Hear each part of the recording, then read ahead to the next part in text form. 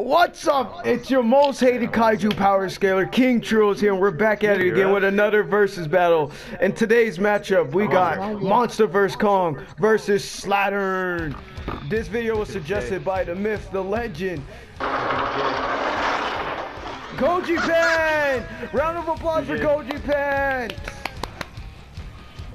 Uh, if anybody else wants to recommend the videos, go go right ahead and suggest it. Uh, I know some of you suggested.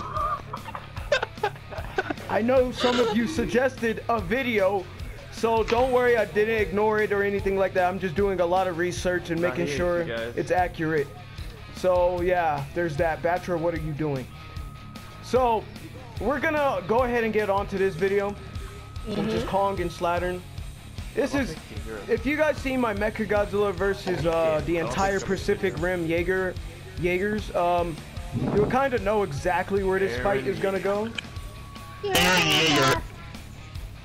Uh, as you can tell, my mates are here, but uh, they know they don't know a lot about Oh, wait, Kong or? Slattern. Oh. Yes, you Oh. didn't hear him.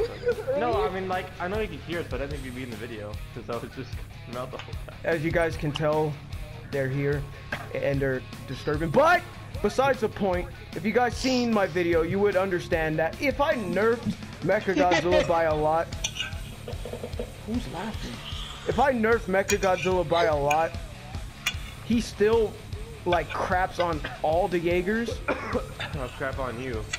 So, what I'm trying to say here is, I want you guys to think about it like this. Mm-hmm. If Kong at 50% of power with a nerfed atomic breath axe, not even as strong as the one he used before the Mechagodzilla fight, if he can knock out, kill Mechagodzilla with that much power, and we already just established that Mechagodzilla mm. can handle the same exact characters, you, you guys get where I'm going at? Yeah. No. So basically, uh, shout out to Honors Place. I don't know if all of you, if any of you watch him or not, but he's a great power scaler, and I use uh, some of his calcs with for some of these videos. But let's say if in his video, he had a calc for Kong's punches being at 75 gigatons. That's island level. And that's a low ball. You can get higher calcs for Kong's punches.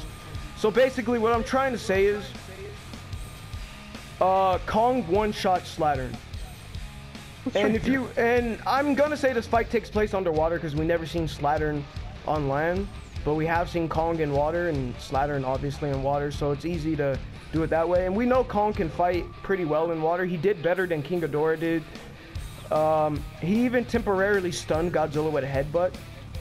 Now, as we also established, Godzilla in his weakest state in the entire, uh, well, not the entire MonsterVerse, but in a weakened state in King of the Monsters, he was able to tank a nuke like it was nothing. So, what I'm trying to say is, if a tired Nerf Godzilla can tank a nuke like it's nothing, and the Jaegers are only about as strong as that nuke was, well, actually, they're a little bit stronger like that, and you can find some stuff that are higher than that, but consistently, they're about nuclear, nuke-wide city, city level.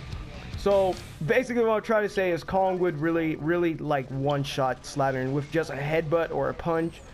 And even if you want to say him being underwater would like slow down the the kinetic energy to his attacks, it still doesn't change the fact that let's say it's nerfed by 75%, right?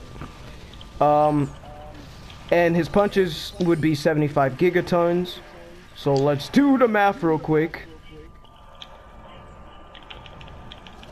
He will still his attacks even if it was nerfed by 75% he will still hit at 18 gigatons 18.75 gigatons which is still enough to one shot slattern. So yeah this was a really quick and simple easy video to make. Kong just destroys slattern even in the element that slattern is better at which is in water. So yeah this is just an easy stomp for kong. Kong wins